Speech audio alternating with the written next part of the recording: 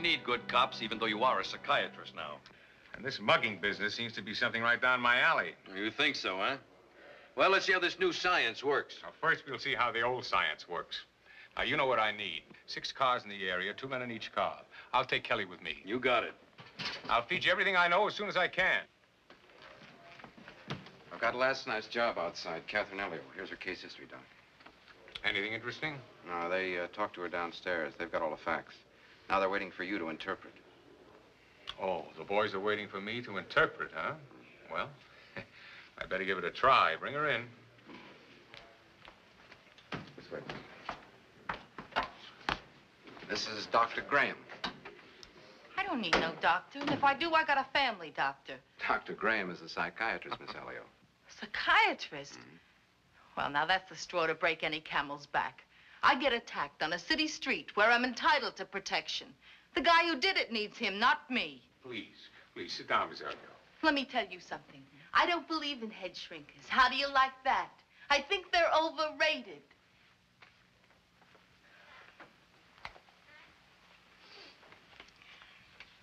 I'll tell you the truth. I'm sorry I reported it. How do you like that? I'm sorry I reported it.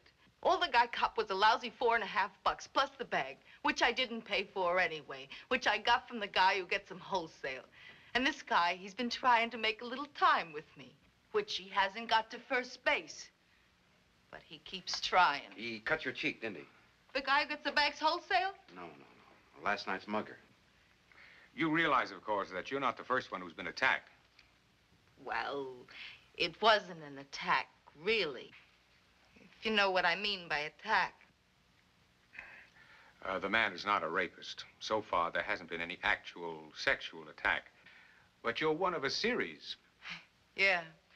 Yeah, I know. I read in the papers. You had a pretty hard time of it today, haven't you? You can say that again. Well, now, why don't you just sit back and relax? I'll give it a fast run through, and then, if you don't mind, just a few little questions, hmm?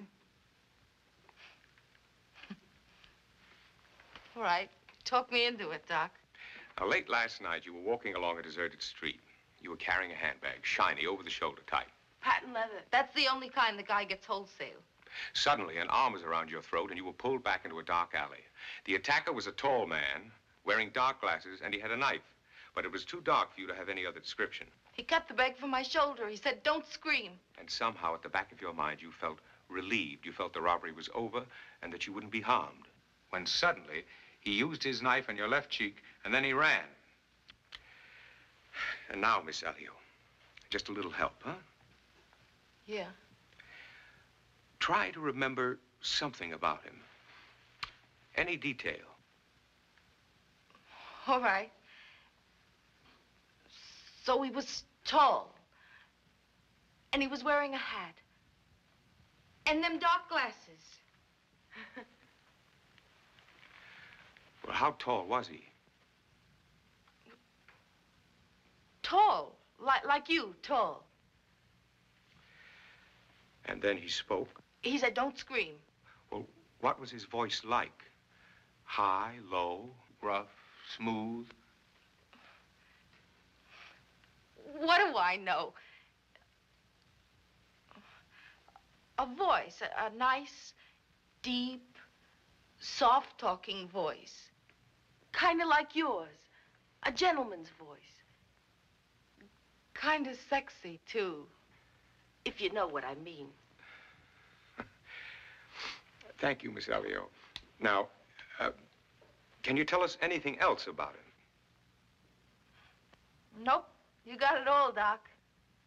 Do you mind if I look at the knife wound? You won't hurt. No, no, I won't hurt. Thin, straight cut, not too deep. Almost, almost tender. Sure. Real tender. Three stitches worth of tender. Well, that's about all. Miss Elio, now, that wasn't too bad, was it? No. Not too good either.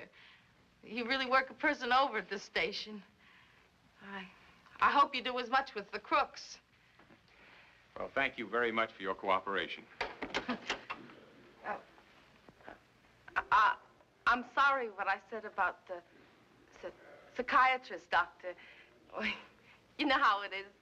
Some people think they're crazy. More people than you think. Goodbye, Miss Elio. Goodbye, Doctor. Yeah, like I said, kind of sexy. Like you.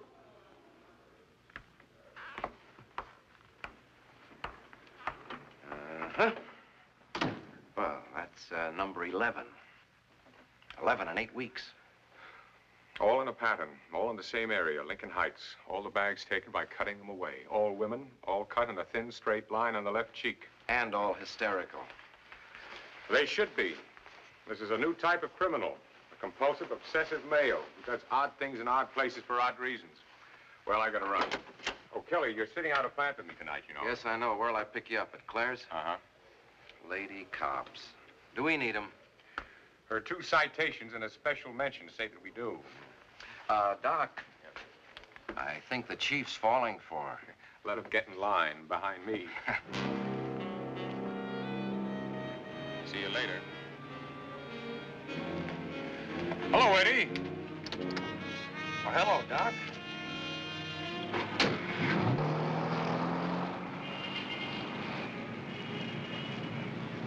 How are things going, Eddie?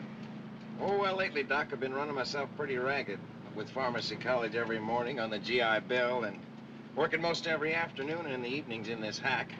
And then on top of that, a wife who's expecting in three months, but who still wants to go out to a movie or to a concert if I get home early enough.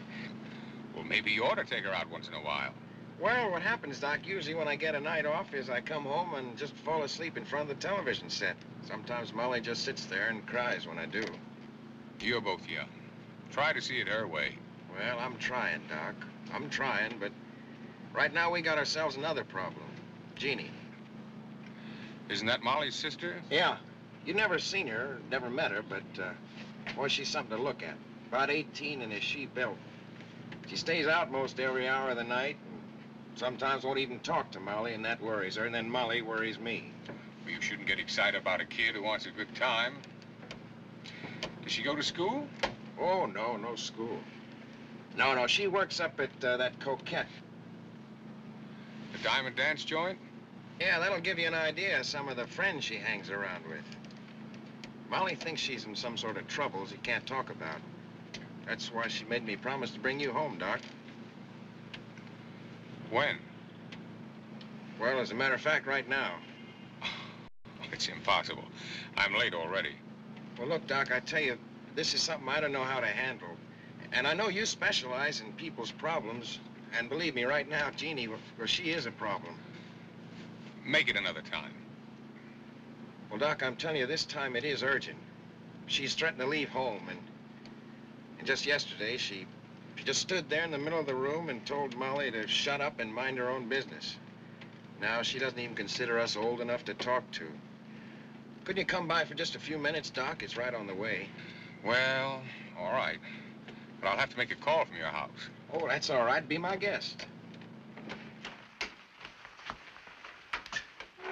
Well, there's the phone, Doc. Molly's probably upstairs. I'll go get her. Oh, hi. Hello. My name's Graham, Pete Graham. Nicholas Greco. Nick, I was just going to use the phone. Okay. Oh, don't leave. It's nothing personal. It's quite all right.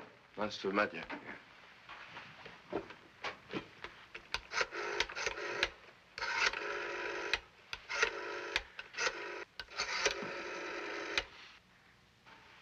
Hi, sweet. Peter, where are you? Tied up slightly. Well, I'm starved. How long will you be? Oh, say, um, half an hour. Well, hurry up. I'm on duty tonight. I know. So am I. Goodbye. Molly be down in a couple minutes, Doc. I hear you met the ghost that haunts the house. Ghost? Yeah, Greco. He sticks to this house like wallpaper. See, he's got it kind of bad for Jeannie. Uh, what is he, uh, a neighbor? Yeah, he lives up the street in that big house we went by. Been away to school for a while, and, well, he came back and found Jeannie all grown up. Now he can't get him out of the house. What about Jeannie? Did she like him? Now, I don't even think she knows he's alive. But he keeps hanging around like a dope. You know, Molly and I are kind of sorry for him because he's really not a bad sort of a fellow. Bit of a screwball, if you ask me. Hello, Dr. Graham. Molly, you're looking very well. I hear the baby's only three months off. Dr. Graham, I know Eddie kidnapped you. And it's unfair of me to make him do it. Forget it. I'm glad to help. Now, tell me about Jeannie. Where is she? She locked herself in her room. We told her you were here. Dr. Graham, I was 18 once myself, not so long ago. I know something about girls' problems, but What seems to be specifically wrong? I don't know. I can't get a peep out of her. But she's in trouble. Serious trouble. Oh, now, Molly, you know, I don't know. You and that imagination of yours. She's got secrets, Eddie. Somebody's got to pry it out of her. And I was hoping maybe you knew how. She's built a wall between us. Sometimes I think she hates me. Oh, Molly, that's a terrible thing to say. She's threatened to leave home. That would just kill my mother. She's sick already. Well, look, Molly, this is why the doc's here. Now, why don't we let him talk to her? I'm going to take Molly on down to her appointment with the doctors, but well, I'll be back to pick you up, Doc. Stay with her. I can get another cab. Well, I gotta work, Doc. I'll be back for you. Jeannie! Jeannie, the doc's down here waiting. I'm leaving now with Molly. Thank you for coming, Dr. Graham. Come on, honey. We'll be back, Doc.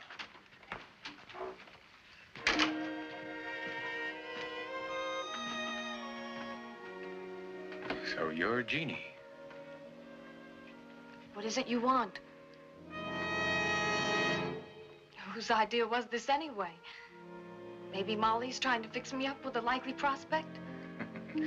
No, I'm not a likely prospect. I've got a girl of my own. Maybe you know her. Claire Townsend? You and that girl from the dance hall? Perhaps that makes us better friends. Look, I know all about who you are and all that. Jeannie, your sister's very worried about you. She's got more to worry about herself. Maybe she's getting a little old. Maybe she's getting a little jealous of a younger sister. She thinks you're keeping secrets from her. I have no secrets. Are you in any kind of trouble, Jeannie? If I was, would I tell you? Perhaps not, but why not tell Molly? I wouldn't tell it to anybody. I'd, I'd work it out my own way. Are you? Working it out your own way. Maybe I am. Look, I don't want to pry, but I happen to know your sister's very worried. She looks for trouble. All she has to do is sit here all day long, waiting for a baby to be born. Look, I didn't send for you.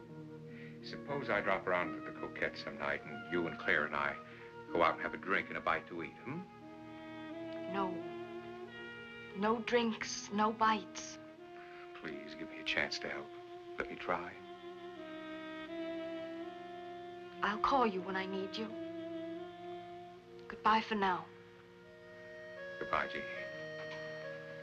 I guess I haven't been much help to your sister.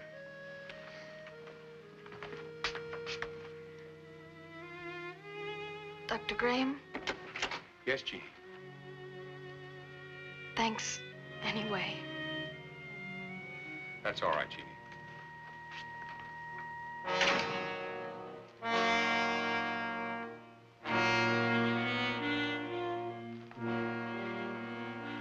Jeannie? Now you. What's the matter with me?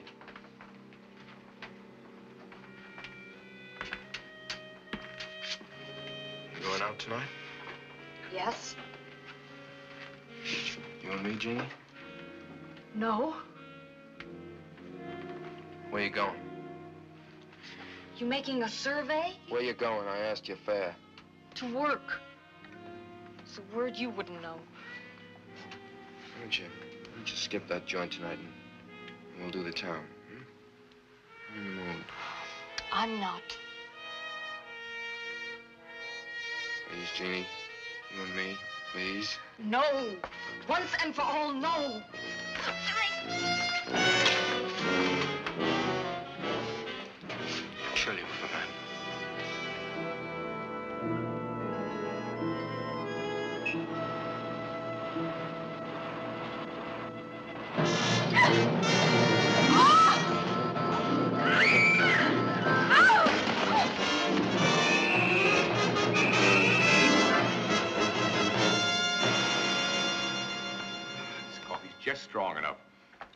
Roast beef was just rare enough. You get to be quite a cook. Thank you, sir. Why are new brides supposed to be such dopes about cooking? Oh, that's only in comic strips. By the way, when are you going to be my new bride? Soon. As soon as I get a couple of more assignments behind me. How are things going on that dance hall job? Oh, it's on for tonight. I have a date to dance with the pusher. You see, we have a little deal. He trusts me now. I don't like it. It's too dangerous. Hopheads get funny ideas. Who doesn't? Anyway, I'm covered. I still don't like your volunteering for these dangerous assignments. Why not? Don't figure it all out at once. But when you do, include me, a home, and children. That's what I want more than anything. Oh, easy. Just give me a little more time. It's getting late. I better go. Maybe I'll drop around later and, and take you home. I'll save you a dance.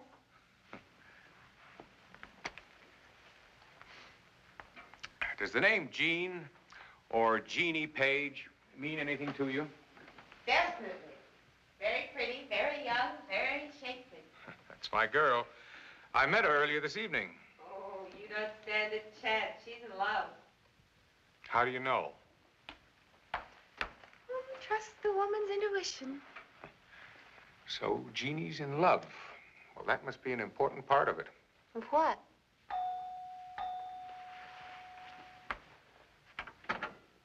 Hello, Kelly. Hi, Claire. How about a cup of coffee? Thanks, there isn't time. Well, another mugging again tonight. The same routine. We'd better get going.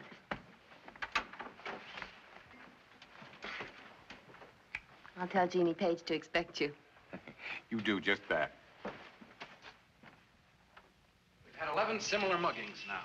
Draw me a picture, will you, Doc? What kind of a guy is he? A monster? No, he's no monster. He's an ordinary man like you and I, outwardly. But inwardly, he's got a conflict that keeps him hopping. That's an opinion. Only. Well, does he know what he's doing and what he may be in for if he gets caught? Oh, he knows, for sure.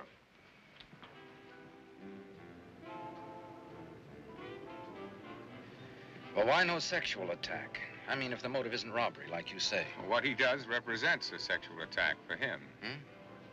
A psychoanalyst will tell you that the knife, the cutting, the pocketbook are all symbols. Uh, I guess he's no plain, everyday mugger.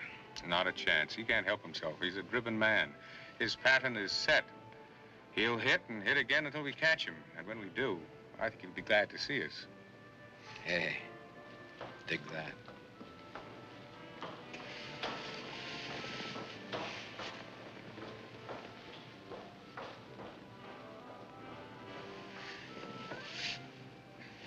Your type? Hey, Doc.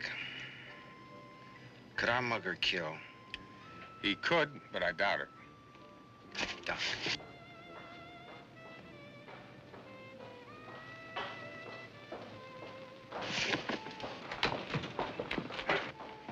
Just a minute, Mac. Whoa, whoa, whoa, whoa, what, what is this? A stick up? Uh, Just hold everything. Check him. It's clean. Any special destination, Mac? Well, what do you mean? Where am I going? That's what I mean, Mac. What gives you the office to be asking questions? This. Cops. Now, where was it you were going, Mac? I was going home. That's where I was going. You weren't perchance following that good-looking doll that just came along, now were you? Yeah, I was. And it wasn't by no perchance.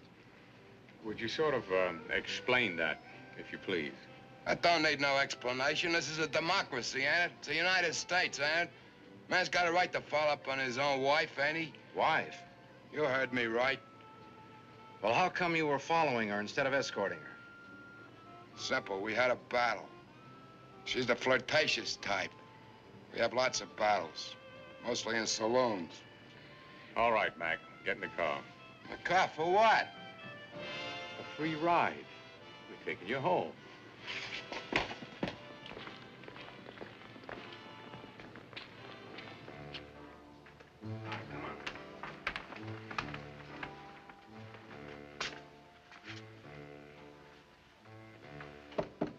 Don't you have a key? She took him. Yeah, who is it? It's me, Mac. Is your name really Mac? Yeah, so what? What's wrong with Mac? Nothing, Mac. Not a thing. Who are your friends? Ain't no friends, they're cops. Cops? What are you doing with cops? What's going on? Uh, They- look, lady, uh, he was following you, and we thought we'd better pick He's him got a right to follow me, ain't he? A husband's got a right to follow a wife. I read it somewhere. Well, we were mainly interested in protecting you, you understand? Hey, you're cute. I mean, if a guy ain't got a right to follow his wife, who has? I mean, it's perfectly legal, ain't it? Wow. Where'd you get that eye? She gave it to me. Another night, another battle, another saloon. On the other hand, a gorgeous guy can follow another man's wife, and I got nothing against that. If the other man's wife is me, and the gorgeous guy might be someone like you. Hey, Look, it happens. Everything depends on the point of view. All kinds of points, all kinds of views. Well, you've made your point. Good night. Get in here. I'll chalk up another false lead. You know, when you think there are dozens of teams like us doing the same thing we are with no results, it's uh, pretty discouraging, you know? Well, what do we do now? Well, you go back to the car and sit it out. I'm going for a walk.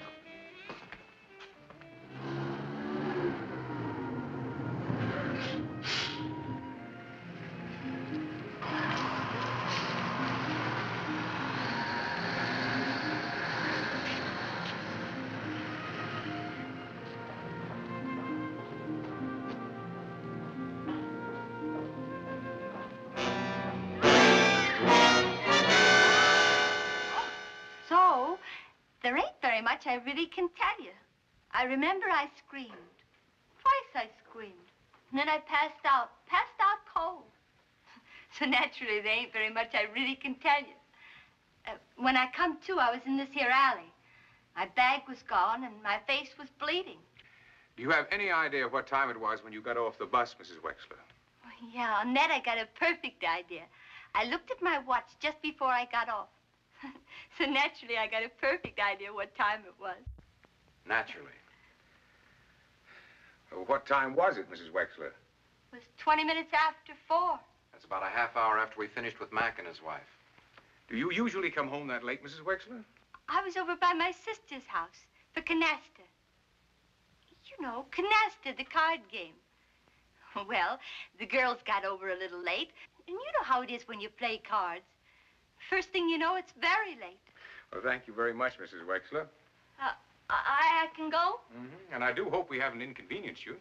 No, it's only, uh, uh, from here on, I ain't walking the street without no escort. Not once, I ain't walking. Of course. Goodbye. Uh, goodbye, Mr. Kelly. Goodbye, Mrs. Wexler. Chief wants you to see this, Pete. Some information that just came through from Chicago. He wants you to follow up on it. Hmm. What do we got, Doc? Information from Chicago. They have a mugger out there who once worked with a mugger called Jack Randolph, alias Skippy Randolph. Well, what's that got to do with us? Well, the ex-con says that Skippy is here, arrived July 29th. July 29th. That's the date of the first mugging in this whole series. The chief thinks we ought to look into it. What do you think? Well, if the chief thinks we ought to look into it, we look into it. Did Chicago send a description? Yeah, tall, dark, about 35, has hit the can twice, both times for second-degree assault. Mugging in the streets. Tall, dark, about 35. Go find this particular type guy in a city the size of this. Just go find him. You ever been to a Turkish bath? Turkish bath? You ever been? No, I ain't ever been. You're going to be. Hello, get me Fats Donner at the Donner Baths on 4th Street. yeah, that's right, Fats Donner.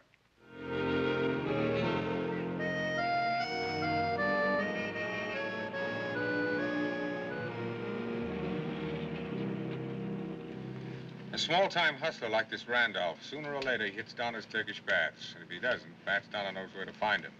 It's a sort of clearinghouse in the cheap hood department. And this Fats Donner will talk, huh? For small favors granted by the department. What kind of man, Fats Donner? Oh, a, a character. Cynical, with a lot of peculiar ideas of his own. Always in his own steam bath trying to lose weight. Hiya, Fats. Hi, Dad. With your friend. Jim Kelly. Hi, Jimmy Kelly. Hi, Mr. Donner. Uh, sit down, cats. Make yourself to home. Now, scram out of here, you guys. Where's it itching, Lieutenant? Taking a Turkish bath in the afternoon? A fellow named Randolph, a small-time chump. Blew in from Chicago about eight weeks ago. I dig, Lieutenant. That cat's square handle is Jack, but he goes by name Skippy. You're real hip, Mr. Donner. You, uh, want him bad? The chief's interested. Oh, I'm moving up in company, huh? How'd you like to have him tonight? I'd love to have him tonight, Fatso. Please, don't call me Fatso. Now, hit me again. I'd love to have him tonight, Fats. I got my license renewal coming up in a couple of weeks, Lieutenant. We bet a thousand here, you know. Nice, clean joint. How do you figure I'm gonna make out my renewal, Lieutenant? If you're batting a thousand, you shouldn't have any trouble. I don't think. I got your okay on that, Lieutenant. If you're batting a thousand, I'm batting, I'm batting. Then you got the okay. Sold. Now, how'd you like to go to a little crap game tonight? A floater from Albany in one of the warehouses here in town. Will Mr. Randolph be there? You betcha. And who figures to know you since you became a whole big doctor bit, eh? What time, Fats? Uh, about ten bells. I'll pick you up. You got a date, man. But please, no rumble. Should all be quiet. Quiet. Okay, I'll keep it very quiet. There's a fix-in with the watchman. No trouble with the police? Ah, no trouble. Like I told you, it's a floating crap game. Haven't caught up with us yet. First guy on the left, that's Randolph. I'll lay it. I'll make it even better. Come on, six.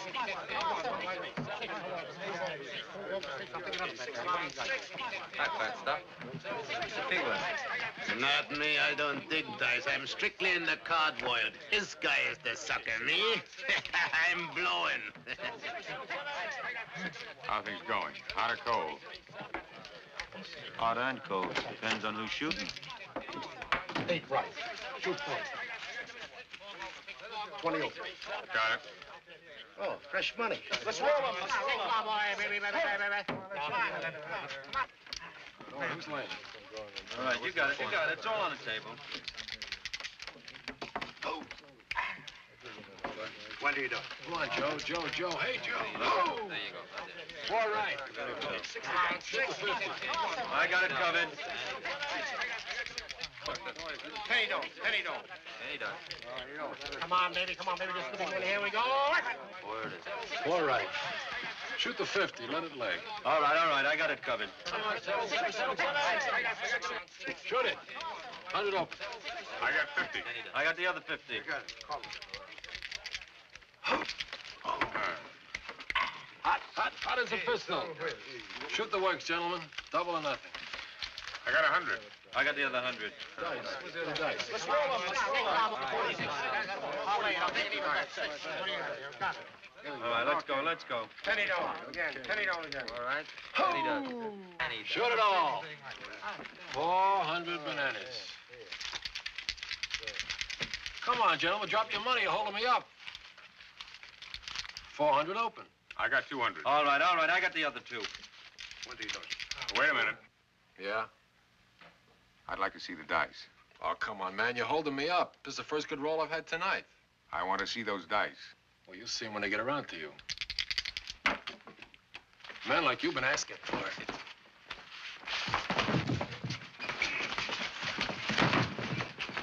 Hold it. All right. Scoop up that 800 bucks. These monkeys make us play rough. We're entitled to a little profit. We're going through that door and down those steps backwards. The first punk that puts his head through gets a load of lead. So help me.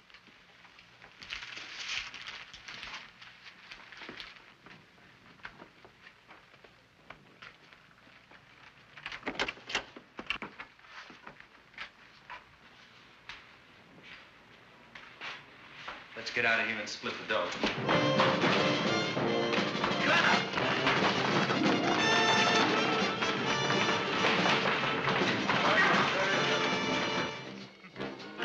Wow. You really threw those bums around. Where'd you learn the judo? I was in the Marines. Ah. Figured. I was in the Corps, too. Sixth Division. I was in the third. Iwo? Uh-huh. I was at Iwo and Okinawa both. Rough, huh? What are you doing now? Hmm. Driving a truck. Uh-huh. And you use the gun for protection against dangerous pedestrians. What about you? You want the truth? Sure. I just got out of the can. What they hit you for? Nothing serious. I pasted a dame, a hooker. Only she tried to hook the wrong guy, me. Dames. They're always trouble. Look, uh, maybe tonight was a lucky break. Maybe you and me ought to tie up. You with your judo. I got something going that's pretty good. I thought you were a truck driver. I got laid off. If your proposition's good, kid, I'm listening. Muggy. It's safe. Well, look who's here. Oh, it's you. What are you doing here? Uh, I just like Chinese food, those soft noodles, crazy. Oh, you must be working on that, uh, You got any news for me? news? No. No, but I decided I wouldn't take any more chances. That's why Sydney's here. My wholesale boyfriend. Uh, how do you do? Protection, huh? Well, uh, look, um, I'm very busy just now. Would you mind? There's no point being rude, is there? Well, I didn't mean anything. Oh, don't be silly, Sidney. Isn't he cute? Hmm. I can't appreciate that fact. I'll be calling you about that uh, matter in a couple of days. Oh, you promise? Um, oh, don't call. Uh, just, uh, come around. You got the address. Look, honey, what does he get for your wholesale? Plenty. You two got something going together? Oh, yeah, they're, they're old friends. Huh? What's the racket? I'm in the garment business. He sure is. Listen, uh, I'll talk to you some other time. Good night, huh? Oh, I can take a hint. Come on, Sydney. Uh, you call, you promise. I will. Uh, it's healing fast. That's good. Take care of it. I'll see you. What hit her? A gang fight. She's always getting into trouble. She's wanted in six states. That dizzy broad? She's mixed up in a hot furniture deal. The guy with her is just a front. They wouldn't go for that type in Chicago. Forget it. Now, what was this proposition you were talking to me about? Mugging. On a dark street, you're hardly taking a chance. Old guys? Old guys, young guys, what's the diff? Safe, clean, and easy. But the loot's chicken feed. No. No, not if you work the right neighborhoods. Why, with a guy like you, we can... I don't like it, knocking off old guys and dames. Who said anything about dames? No, no, dames I steer away from. Right away, they try and hang an attempted rape on you. And like that, they put you away for a long, long time. No, dames is out. Carrying a gun on a heist like that just as bad. We don't carry a gun on them kind of operations. You carried it tonight. Look, it's a memory of the stretch I did on Iwo. Well, or souvenir. Or San Quentin. You're kidding. sure. I got me a war souvenir, too. A bazooka, only it's too big to carry. Let's see the piece.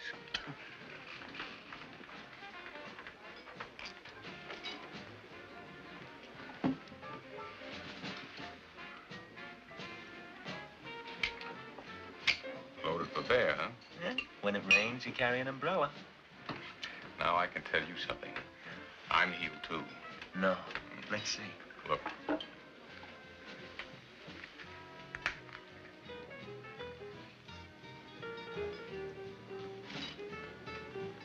Oh, no. What did I do?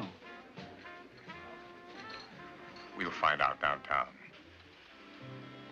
Can't we stay uptown and talk? Say no? Please, will you slide out of there nice and easy? Be good. This may be your gun, but I'm holding it. Now, let's go. What a sucker. Where did you ever get the name of Skippy?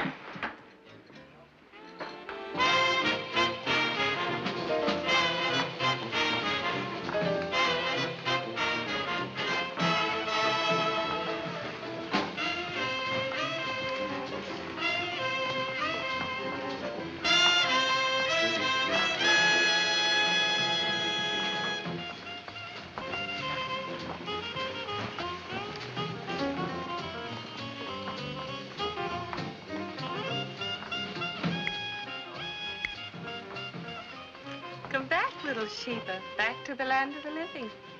What? You were far away. Yes, I was. You want to tell me? I wouldn't dare. What are you doing here anyway? A nice girl like you. What else can I do? What else do I know? You're so young. You should be in school. I can't have my sister supporting me. What about a nice boy? Getting married? No. But there is someone. I saw him once, you know. Okay, girls, shake it up. This ain't no rest home, you know. I'm waiting for a date. Well, you can hustle around while you're waiting, can't you?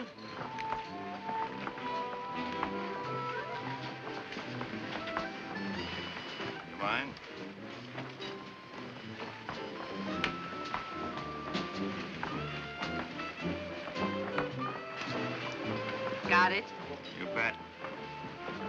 Give. I don't give till I get, sister. A hundred clams on a line. I hope you got it stuck onto you somewhere.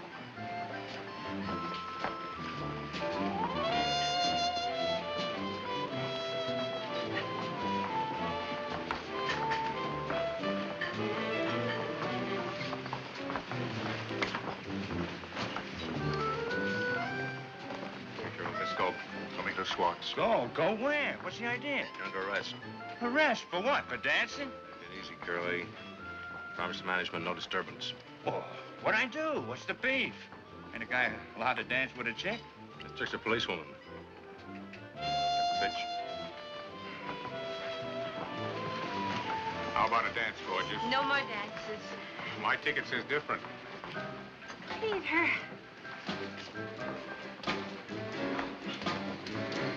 Job here finished? Thank heavens. Yes. You know, I think you've had enough.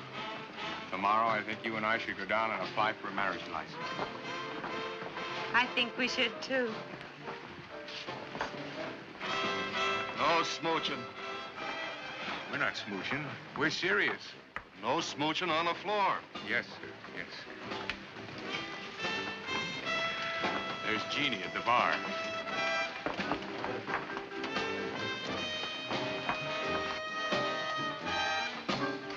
Jeannie. Hi, Jeannie. Hi. How about a drink? No thanks. Something to eat? Uh, no, I have a date. Why don't you have him join us? We'll go someplace together. I'm joining him. It's not near here. We'll get a cab and take you there. Oh, no. No, Peter. She wants to go alone. It's a long trip. I'd just as soon go by myself now. Good night. Good night, Night. Jeannie. Peter, there's something I want to tell you. Let's get out of here. Of course. Do you mind coming to headquarters? I got a daily to pick up. Sure. She was wobbly that night. Real sick. She let me take care of her at the club when I offered to see her home. She said she was going to keep this date and wouldn't let me come with her. I worried. I didn't think she could make it alone. So I followed her Where'd she go? out on the D train to 236th Street, second stop from the end of the line. And the boyfriend? Oh, he was there to meet her. I didn't want to upset her, so I turned around and came back. But you saw him. What was he like? Nice looking boy. I'd know him again if I saw him. She must have had quite a case on him to go that far when she was that sick. Love, dear heart. Love. Would you ride to the end of the line for me? For you, I'd crawl. Let's crawl home. It's been too long a day.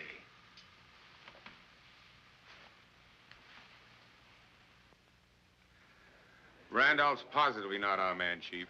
The reports show that four of the muggers' victims, including last night's, had a fairly good look at him. There's no positive identification to Randolph. Yes, I know. We'll get rid of him with the Sullivan charge. Sorry, sir. What is it, Kelly? Call just came in. They found a girl in Jackson Park. Has all the earmarks of our mugger, with one exception. What? This one's dead.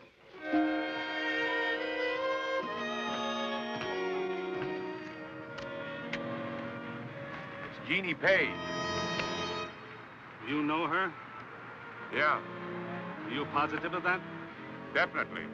Looks like this is your mugger. Sure does. It works. Only this baby gave him a battle and tore his dark glasses off him. He used his knife for more than a cut in the cheek. Five stab wounds in the heart and two in the stomach. We got the glasses. Yeah, nothing special. Ordinary five and ten job. This is the first real thing we've got on him. Any idea of the time of this thing, Doc? About four o'clock. Four o'clock this morning, I'd say. Autopsy will do it exact, but I'd say about four o'clock. I'm simply pointing out that it's possible that it wasn't our mugger who killed the girl. Why? Because you package up an idea that we're looking for a special type guy? Compulsive, obsessive, neurotic. We did arrive at some sort of... You arrived. As to the type of man we're after. That type isn't a killer. But if the girl put up a fight? Well, he, he would have run away. But he had a knife, didn't he? You know, isn't it possible he started stabbing away in plain old panic? Of course it's possible. I'm merely trying to point out that another possibility does exist. With all the earmarks of our mugger, the handbag missing, the dark glasses, the small cut in the cheek. Come in. Thought you ought to know right away, Doc. We got half a break on those glasses. Good. They could have been bought in any five and dime store in the city, so origin is out. But we got good thumb and forefinger latent prints, very clear. How did they check out? No, they don't. No police record. We've had them all over. Well, it's something. Half a break, anyway. Uh, here's the autopsy report. Autopsy, big deal. Time of death between 3.30 and 4.30 a.m. Cause of... Didn't you tell the chief this morning this girl had some deep-seated emotional problem tied in with a missing boyfriend? Yeah, something like that. Oh, you couldn't be righter. Why? How? According to this, Jeannie Page was three months pregnant.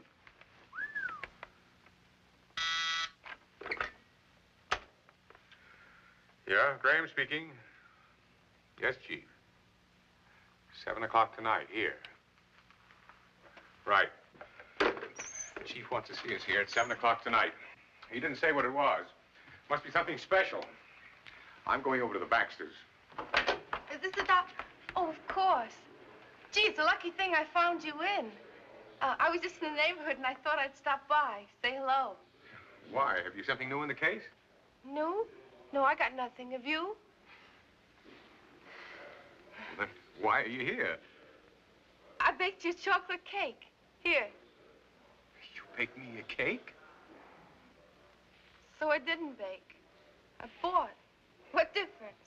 Well, that's very sweet of you, Miss Elliot, but I, I've got business. I just haven't got the time. Now, why don't you leave it with the boys? We'll enjoy it later. Sure. well, at least read the inscription on the cake. It's specially for you. Well, I'm in a, an awful hurry now. Here, Kelly, you read it. I'll see it later. Thank you, Miss Elliot. We'll Yeah. take care of it. Yeah, It's for the it's for the dog. We'll make sure he gets it. Thank you, Miss Elliot. Claire, you want to come with me to Molly Baxter's? I Can't. I'm stuck here for at least another hour. What's up? Tough day? Yeah, getting tougher every minute. We just found out that Jeannie was pregnant. Now I've got to go see her sister. Oh, that's awful, Peter. I'm sorry I can't help. I'll check with you later. Maybe we can have dinner. Hmm? He was a sweet kid. A good kid. Maybe she was running a little wild, but maybe that was my own fault. Maybe I was too strict with her.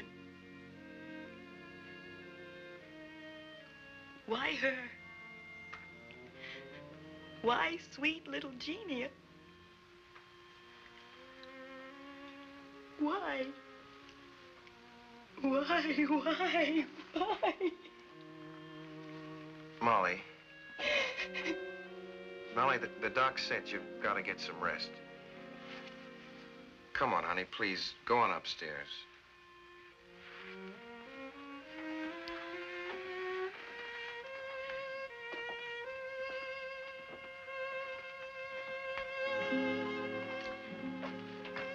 Thank you for coming, Dr. Graham.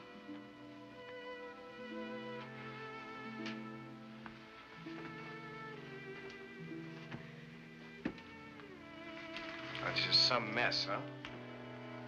How did Mr. Greco take the news? Greco? Oh, Nick. Well, he took it worse than Molly did. Poor fellow, he just sat there on the sofa and cried like a baby. Did Jeannie have any uh, special boyfriend? No, not that I know of. Why? Well, I didn't want to mention it while Molly was present. Well, mention what, Doc? But Jeannie was pregnant. She was what? Three months. Well, I, I don't believe that. It was in the autopsy report.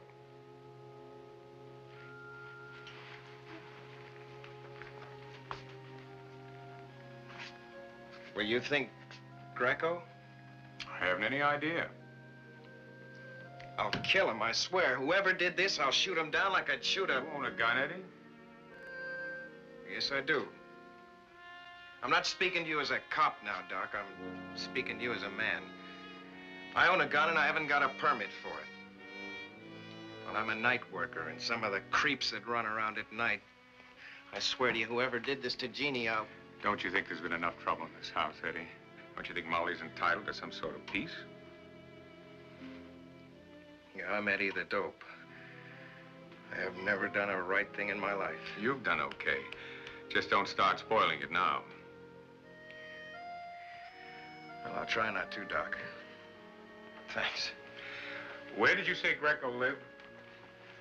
Well, he lives across the street there in that big house.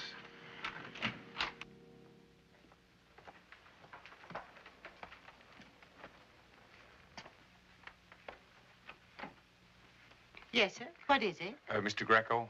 Mr. Greco's been away for the past eight months. Mr. Greco Jr. Oh, he's left, sir. Packed up and left. Where to? Oh, he didn't tell me where he went to, just packed up and left. May I use your phone? Right inside.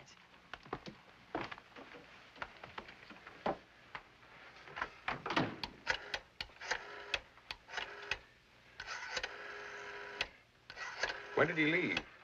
This morning, I don't know just what time. Oh, Cassidy, will you send out a flyer to pick up Nicholas Greco?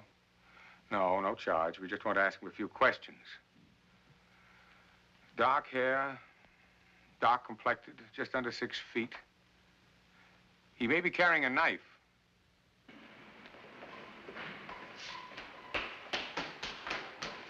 Cassidy, Any news from Greco yet? Oh, it's too soon yet, but it's on all the wires.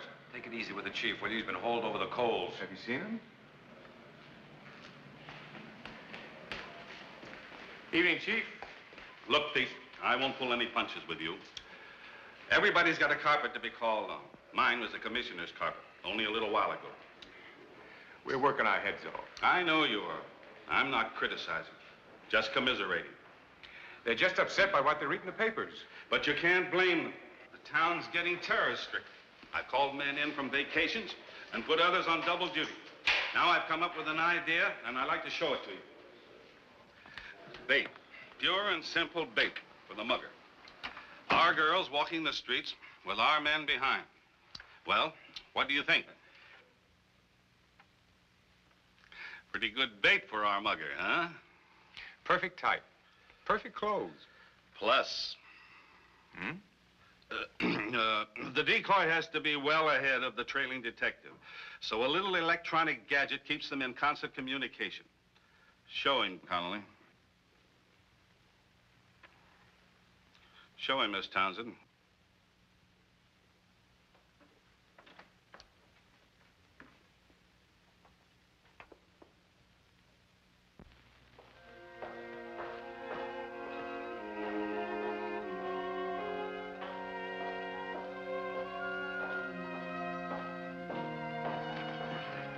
Calling all cars, calling all cars. How you doing, Connolly, my boy?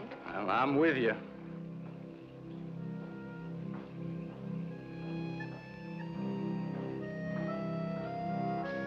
Say, how about knocking off for a cup of coffee? Throw in a couple of hamburgers and you got yourself a deal. Uh-oh, Navy cruising up ahead. Well, I'll be if it ain't a blonde. Come here, Blondie. Ship by, sailor boy, run along. Oh, I'll run, honey Belle. If y'all run along with me. Sister, I'll run like mad. Now, what's the matter, honey Belle? Don't you like sailors? We're the men that goes to sea to protect beautiful tomatoes like you. Not tonight, sailor. Please, I gotta go somewhere. Well, I'll go right along with you, sugar sweet. I'll even buy a drink. I'll buy a couple of drinks. When you've had enough to drink already, please go away. I'm a married woman. Well, so what? I'm a married man. Ah, How's about it, kid? Go away. I ain't going nowhere except with you. I love a blonde and a big one and a pretty one and you all three. Now, come on, big blonde. Break down for sailor boy here. How's about it, baby girl? Now listen to me, sailor, and listen hard. I'm a policewoman, see? And right now I'm working and you're cluttering up my job and I don't like it. You're a what? I've got a 38 detective special in my handbag. And in about six seconds, I'm going to take it out and I'm going to shoot you in the leg. Then I'm going to leave you here on the pavement and put in a call for shore patrol. I'm counting now. One. What are you getting all hit up about? Two. I, am Run oh, along, I don't even believe you got old. Three, Well, I'll be.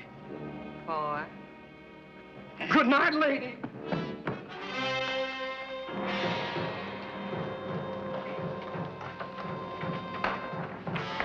Man, if you see a big blonde up yonder, steer clear, steer clear, man. I'm-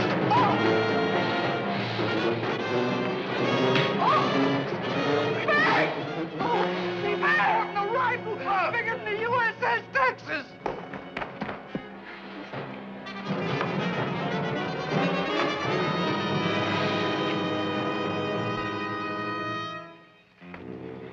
Are you all right? Oh, sure. I'm all right. It takes more than the likes of him. Oh, did he use the knife? No, he didn't have time to get to that, thank heavens. He used his fist.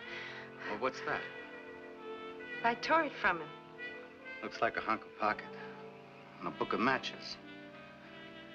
Oh, and here's a fresh pack of cigarettes. There's Wellingtons.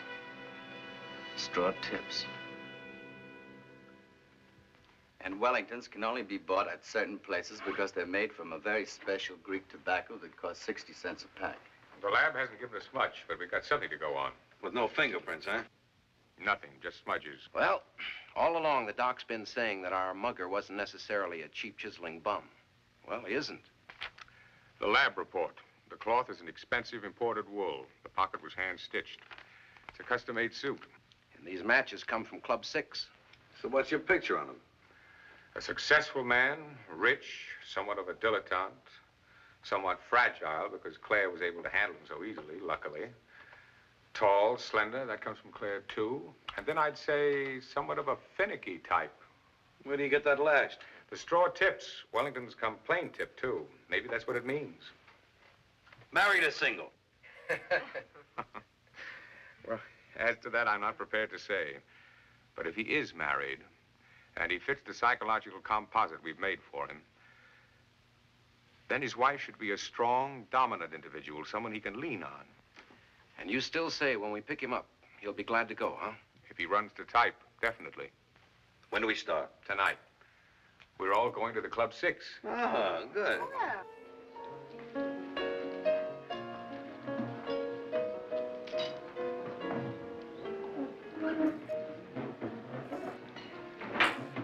serve you? Sherry, please. Scotch and soda. The same. Bourbon and water. And would you send the cigarette girl over, please? Directly, sir. That's the first time I've ever been in here. It's pretty nice. It's too rich for my blood. Cigarette? Yeah. You uh, have any Wellingtons? Oh, yes, sir. Straw tips? Oh, yes, sir. You? Oh, thank you, sir.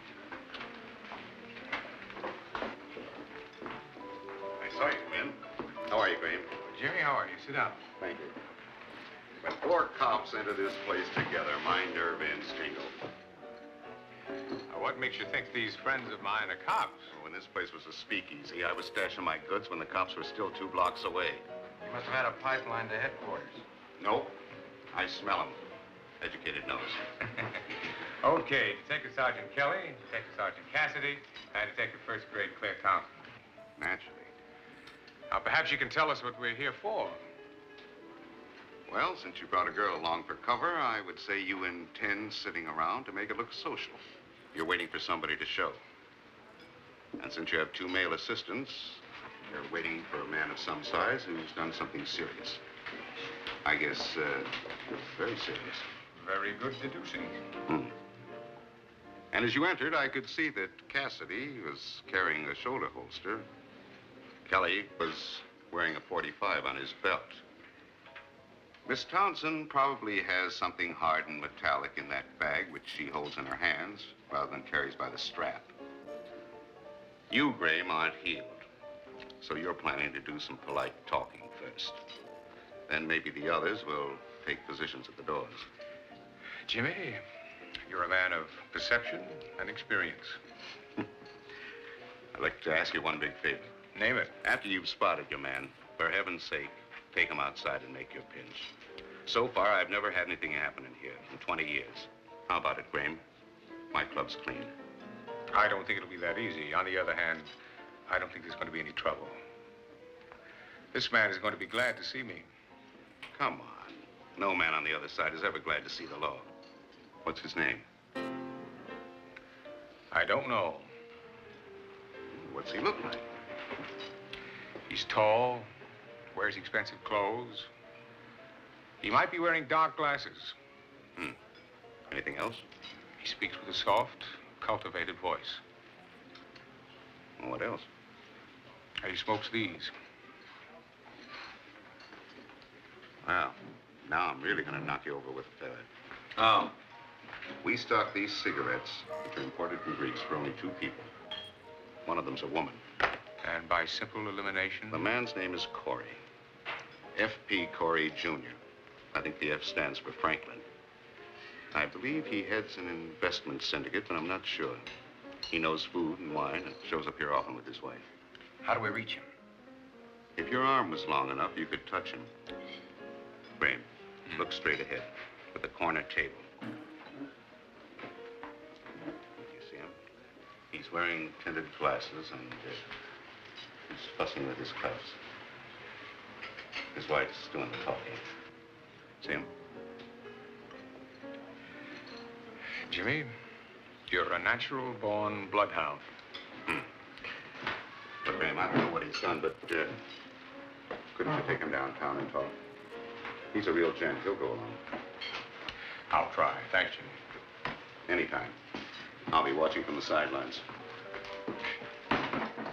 It's all so simple when you know the right people. Boy, you psychiatrists are something. You hit the guy perfect, including the wife. He's still may not be the man we want. So we might as well find out right now. Claire, why don't you wander over there by the bar and keep that exit block? Kelly, get over in that alcove in front of Corey in case we need you. Cassidy, you come with me. We're going to join the Coreys.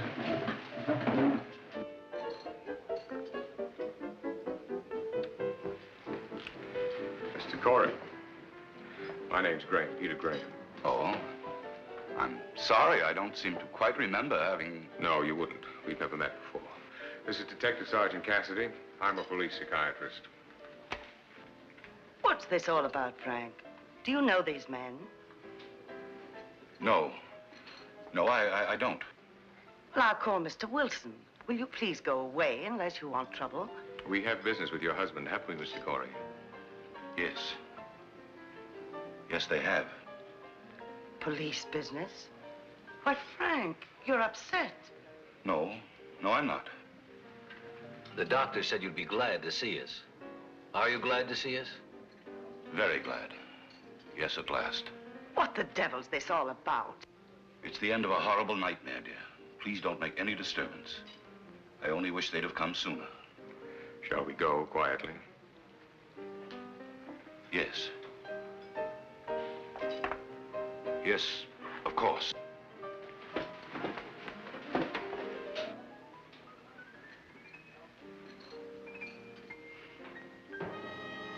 You got your man. That's the bum who cut me.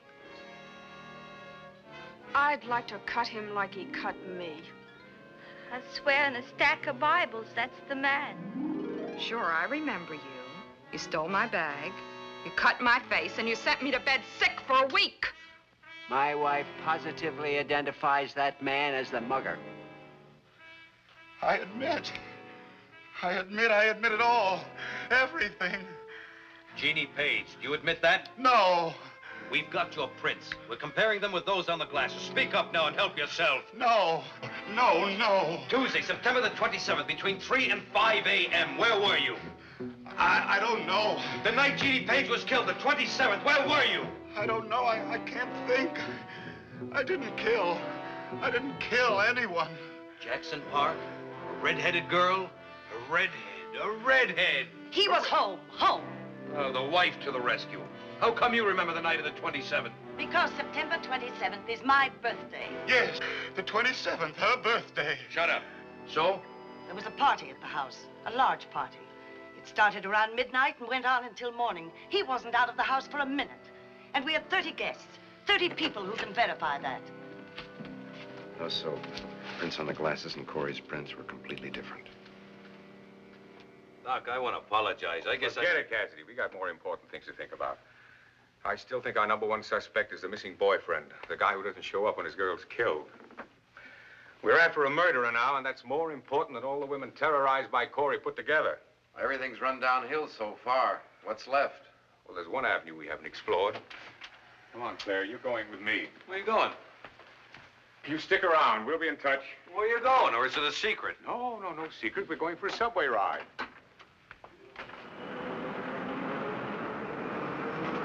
Well, now that we're here, what do we do? Poke around. Meaning? Oh, you know the usual routine. Besides, we might get lucky. You know, the public never realizes, and we certainly can't tell them, how many crimes are solved by the long arm of coincidence. Well, which way do we go? You pick it.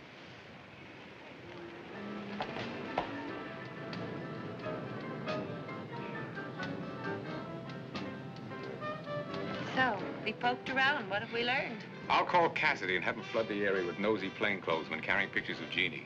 You never know. There's a phone in there. I'll have a cup of coffee while you phone. Cup of coffee.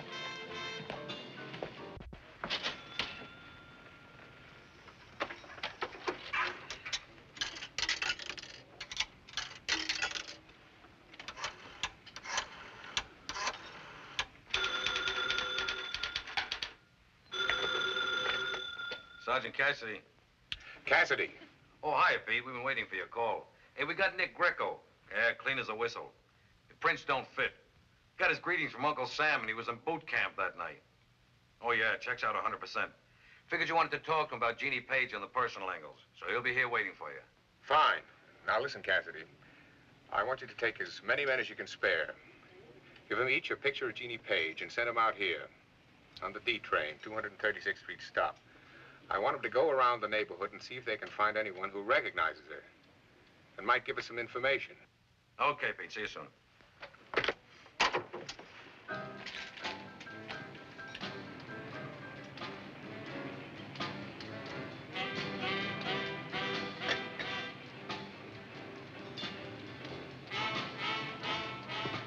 Peter.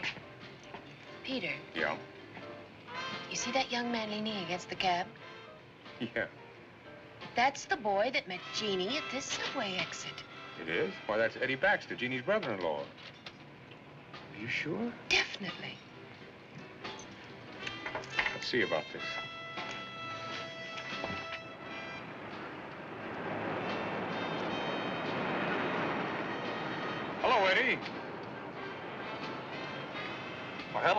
Where'd you come from? This is a wilderness out here. Oh, just routine business. Claire, this is Eddie Baxter, Miss Townsend. Hi, how do you do? Hello. Well, what are you doing out here, Eddie? Oh, I'm out here most of the time, Doc. This is my regular stand. Well, I wouldn't know. But you want to make a trip back to town? I'm taking Miss Townsend home. Well, sure, sure. Get in. 228 Linden Street.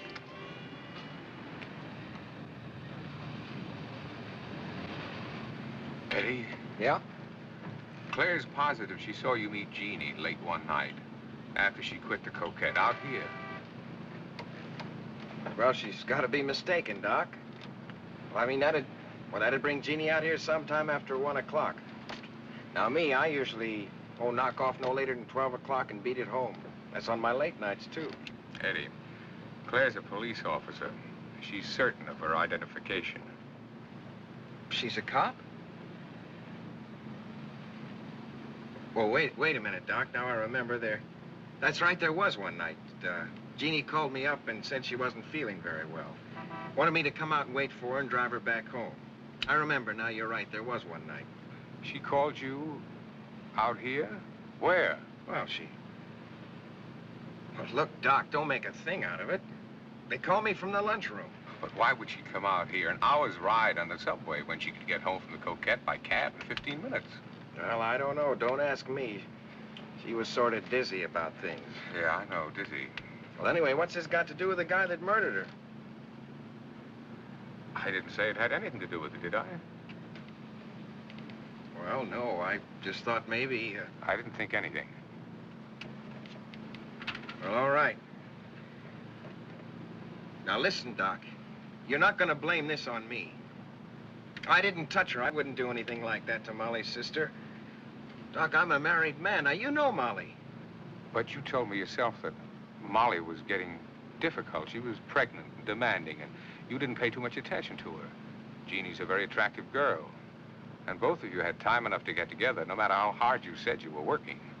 Eddie, I definitely remember you picking Jeannie up one night at the Coquette. It was you, wasn't it? Now, look, lady, you're remembering too much. Now, you're lying. Eddie, I think we ought to take a trip down to headquarters and iron this thing out. No. No, I'm not going to any headquarters. Not now or any time.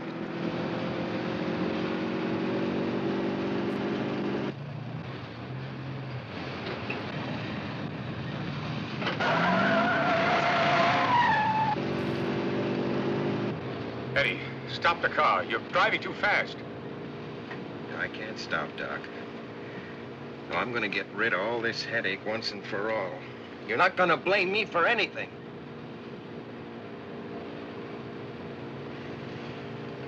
All right, now look, I see what you're doing. She's got a gun in that bag. Now you listen to me, both of you. You throw that bag out the window right now, or, or I'm to wreck this car.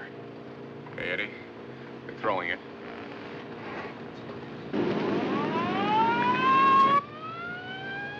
Eddie, we picked up a police car.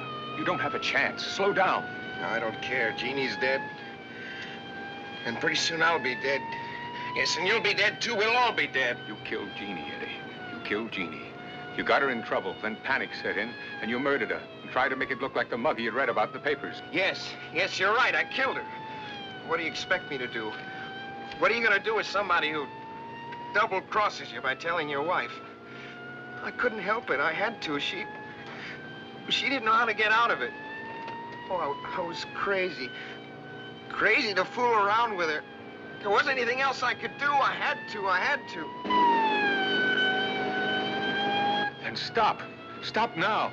It's useless killing us. You can't get away with what you've done. You'll only make things worse by hurting us. Get away? How do you. How do you get away? I'm a murderer. I killed her. I'm. I'm a murderer. Yeah, stop. All right, I'll stop right now.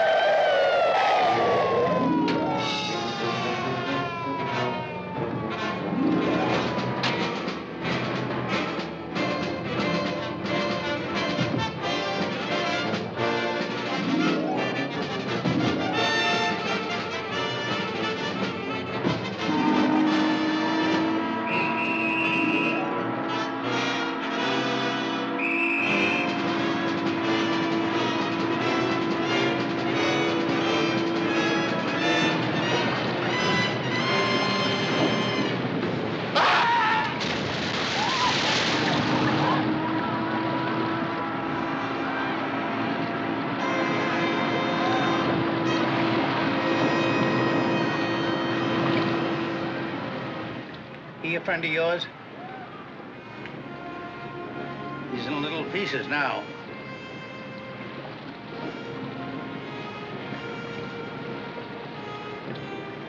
Crazy world we live in. Everybody's in a hurry.